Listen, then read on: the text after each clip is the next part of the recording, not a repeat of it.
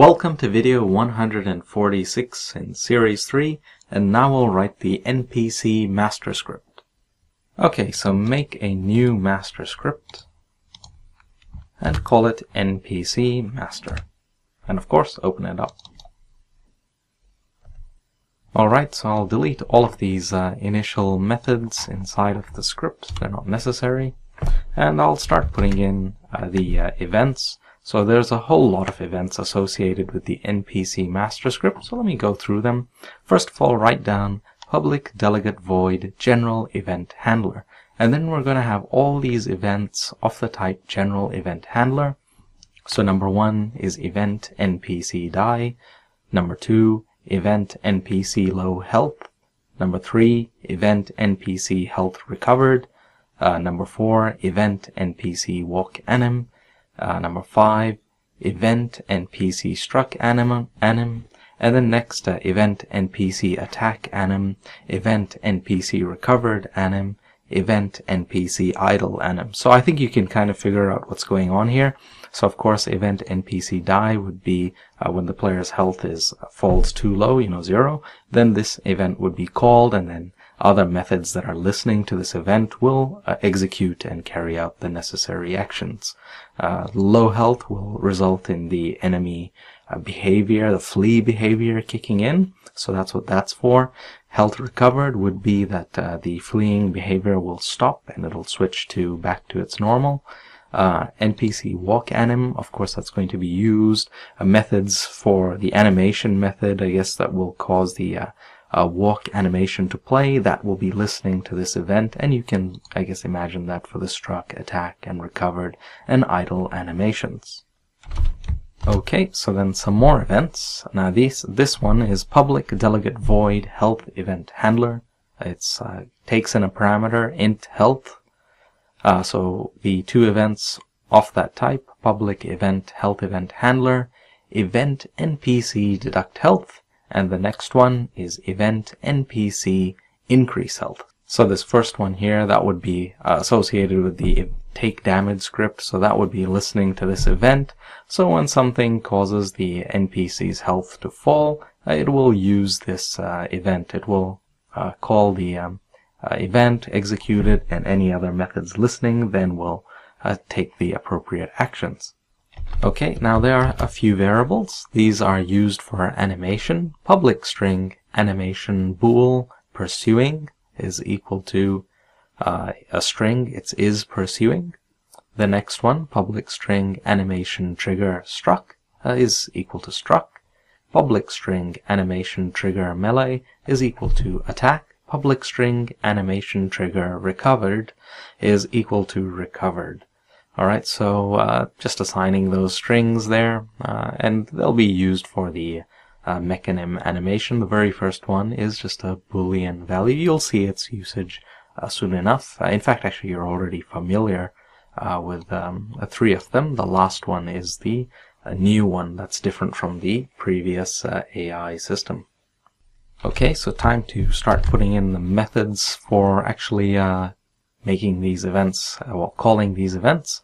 So public void call event npc die, and as always, we have to check that it actually um, has something subscribed to it. So if uh, event npc die is not equal to null, then we may call it event npc die, and of course the uh, round brackets there. So just follow along, that's what I'm going to do. I'll copy in each of them, there's quite a few. Okay, so I've just pasted in three more. So after the event npc die, we have this one, public void call event npc low health. Uh, if event npc low health is uh, not equal to null, then event npc low health is called. The next one is a public void call event npc health recovered. If event npc health recovered is not equal to null, uh, then then we just call that event, event npc health recovered. Next one, public void call event npc walk anim.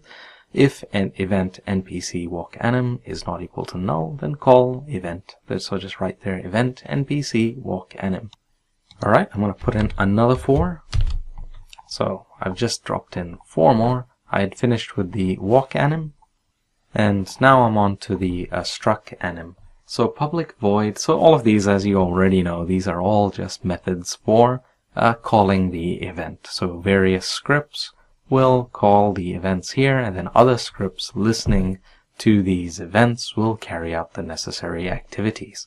So it's a pretty long script. Sorry to uh, bore you through it, but we have to write it. It's the fundamental, one of the fundamental backbones for our NPC uh, system. So we just have to write all of this stuff. So public void call event npc struck anim. If uh, npc event npc struck anim is not equal to null, uh, then event npc struck anim Again, you can see that for uh, npc attack anim, so just copy that and just write it public void. They're all of the same structure, just change the uh, wording here. So this one is call event npc attack anim. If event npc attack anim is not equal to null, then event npc attack anim uh, again, then the next one, call event npc recovered anim, and you get the uh, general idea. Same sort of thing again, event npc recovered anim, etc. Then uh, next is call event npc idle anim, and then of course write the code for calling that event. And of course, I'm probably proceeding a little fast, a little fast because there's a lot of content to cover in this chapter. So just pause the video when you need to type out the code, pause it, and just see what you have on the screen, and just uh, keep writing as per what you see.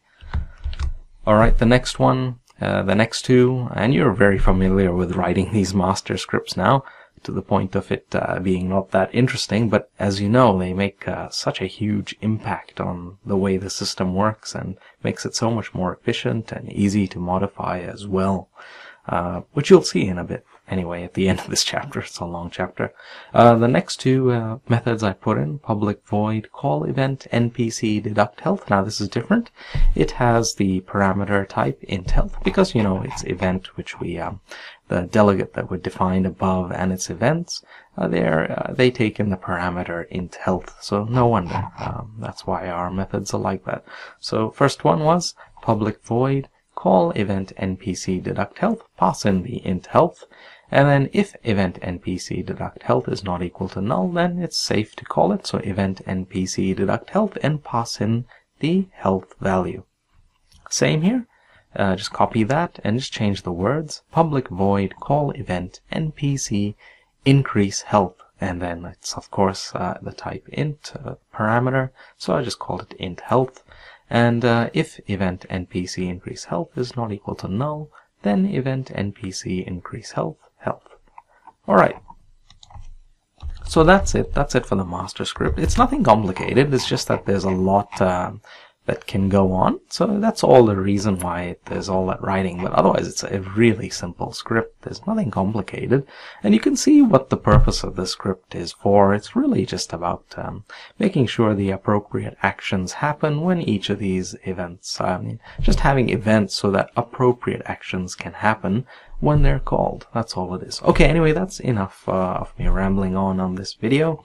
I'll just do a slow scroll through so you can see it all together uh, in its completed state. And uh, we'll move on and we need to start writing uh, the uh, state pattern and the uh, other scripts. That'll be quite a few videos on that, so lots of work to do. Okay, anyway, thanks for watching and see you in the next video.